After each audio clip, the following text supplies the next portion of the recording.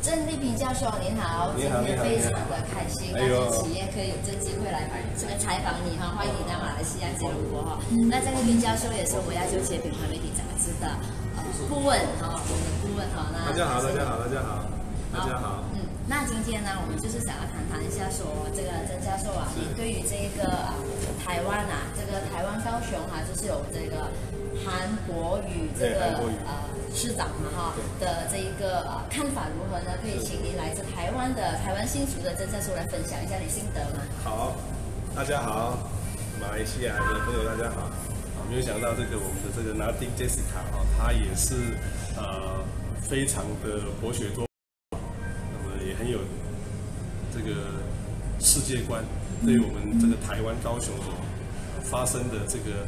呃，新的市长韩国瑜啊，他们所造成的这个短短这几个月的风潮哦，那么这么注意，那你觉得你想要多了解是？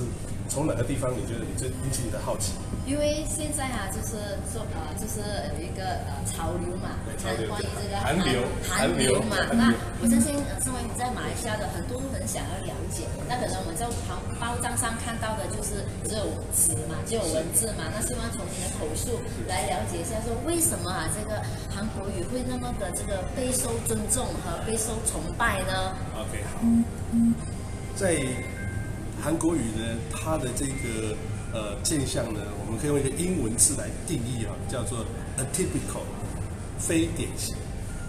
这个 atypical 这个非典型啊，其实这几年来呢，相继都有在呃发生，比如说川普、杜特地、金正恩、哦马克宏，法国总统，哦一直到有一段时间台北市长柯文哲。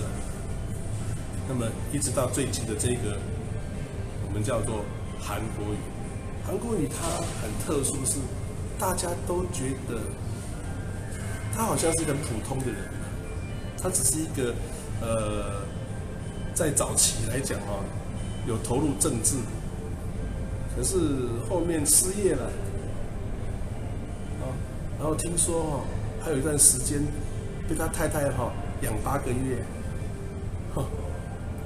甚至穷到没有钱哦，还女儿哦，还帮他买车，很落魄，可是他照样哦，就是胸有大志。啊这次出来选的时候，大家全部不看好，但是他却用他的真诚去跟所有老百姓一个一个讲，一个一个沟通。所以他有一句话讲：“天地可破，热情不破。”真诚不破，所以他讲了很多的名言哦。我相信应该在我们的这个直播的观众哈群里面，应该有很多人都知道这几个的发展嘛。有很多的人像我们这种的组织行为的这样的一个专业人士哦，我都会给他感动，而且预测他哦会是一个非常不得了的政治人物。那你知道他的？有什么地方特殊吗？不知道，你可以分享一下吗？他是秃头啊！秃头？秃头啊！嗯，哎，秃头哦，他一点都不会觉得奇怪，他还发明一句话，大家都会背的，叫做“秃子跟着月亮走”。秃子跟着秃子跟着月亮走，为什么呢？那秃子本身有月亮才会反光，太阳照着月亮，月亮发光。月亮照着兔子，兔子兔子发光。现在在台湾有一个贴纸，有一个 T 恤卖的很好，上面只有印的几个字：兔子跟着月亮走，我们跟着兔子走。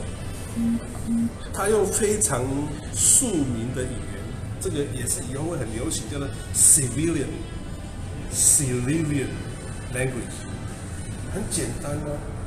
他讲的话哦。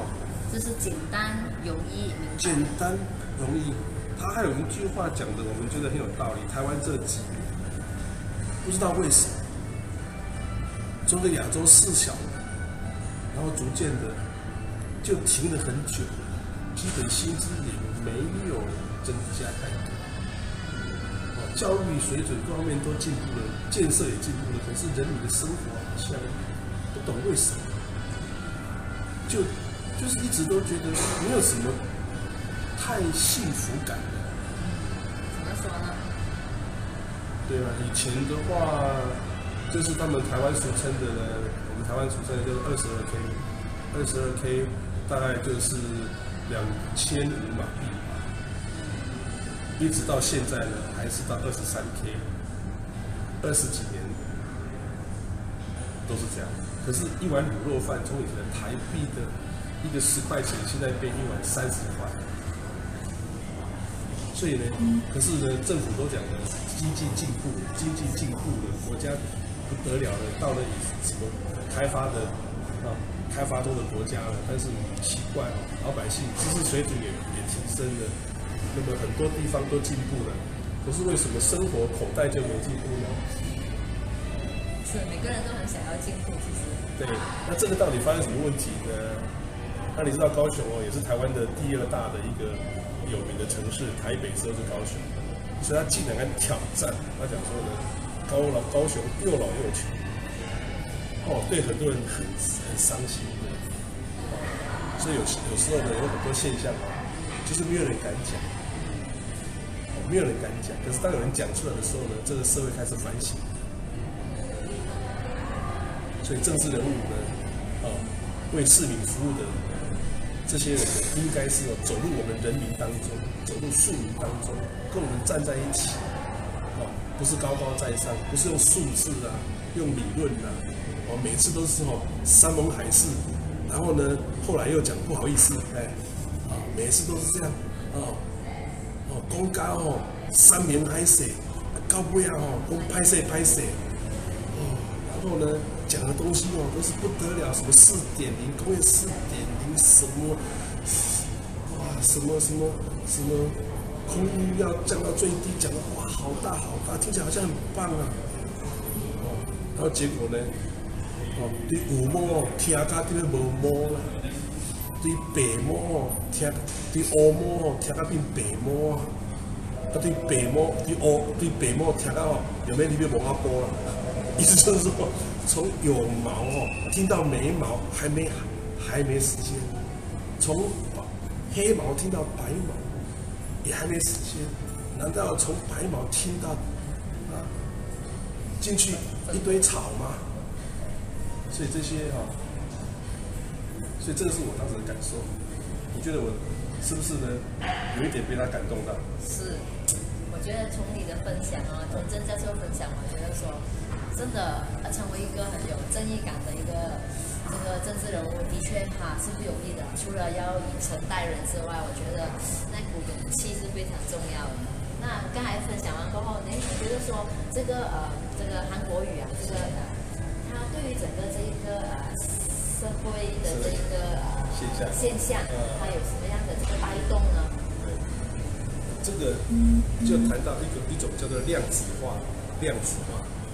量子化什么意思？像微波炉这样，你把一个呃东西放到微波里面 （microwave） 里面，它也没有什么火从哪一点去燃烧，它直接就这样靠着一个 environment environment 啊一种量子化的反应，把里面的东西把它燃烧起来。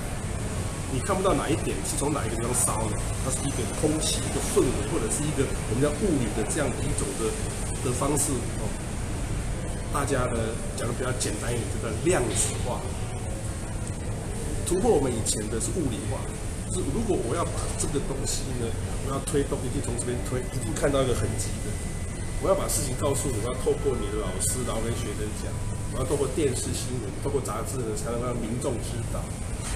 但现在呢，每一个人都有一只手机啊，两只手机，对吧？都有什么的群组啊，这些等等，所以那个讯息啊，已经呢开始呢，已经在我们在我们的生活当中已经产生了一个不是一定要从谁得到，而且每一个人都已经有发言权，是只要你愿意，像今天杰西卡这样直接访问的，那么直播，那么直播就算没人看，对不对？说不定有一天有也也有人会看，有人看看的好就传出去，看的不好就在上面骂。在那边反对，他反对，越反对，有人看呢看不下去，啊，就来跟你讲话，这样很奇怪。那个谈论哦，立刻 anytime, anywhere, any call，对不对？它开始在产生量子化的反应。所以在这个时代，热情不破了，天地可破，热情不破。啊，以前我们常常讲说呢，哈，武功最高境界哈，唯快不破，对不对？所以你要热情，要很真诚。所以这个也是我每次看说，我们是应该哈，这个时候应该有时候有些东西我们不要太假。这个世界上哦，有了 A P P 经济的时候呢，庶民经济时候呢，你太假哦就不够真诚，真诚呢总是会感动一些人。这叫量子学的一个反应啊，群众反应已经取代了以往的我们叫物理学的。那么。我觉得就是就是就是这个杰西卡，他今天可以在马来西亚也关注到我们台湾的高雄的韩国语哦。我觉得他的现象对整个华人世界哈，应该是一个很大的一个大的醒思了。好，这样一一个人哈，能够想说政治哈，政治的这样的一个氛围开始在进步。让每一个人更能够有参与的权利。然后，我想最后这个讲座呢，它过于让我最能够感动的是，有一些朋友本来都听不懂的政治人物讲的话，他开始哦会有办法让他们听得懂，而且愿意传出去。他讲的最有名的一句话叫什么？货卖得出去，钱进得来。高雄发大财，这是最具名言啊。对，而且他说，歪嘴的鸡没有挑米吃的权利。这个社会现在来说呢，高雄要进步，台湾要进步，不能够有框框，只要心里面。有道路，不要框框，不要不要关起来。所以我希望说呢，你们有一天也可以到我们台湾的那个高雄很有名的爱河，爱河最近会开一个叫做爱情产业链。爱情产业链。嗯，到那边来谈恋爱，不要不要听错哦，爱情哦，不是色情。是爱情，爱情爱河很漂亮哦，啊，所以这个。呃，很高兴啊，接受这个 Jessica 的这样的一个直播访问，也好，大家有机会到高雄来。